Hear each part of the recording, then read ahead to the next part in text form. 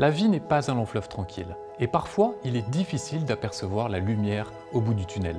Surtout quand on devient mère d'une enfant différente et que rien autour de nous ne semble faciliter les choses. Alors quelle est cette force qui nous invite à garder l'espoir? L'hypnose peut-elle nous aider à la contacter? Le fait d'avoir une enfant différente, j'ai commencé à regarder par son angle de vue à elle, dans son monde à elle.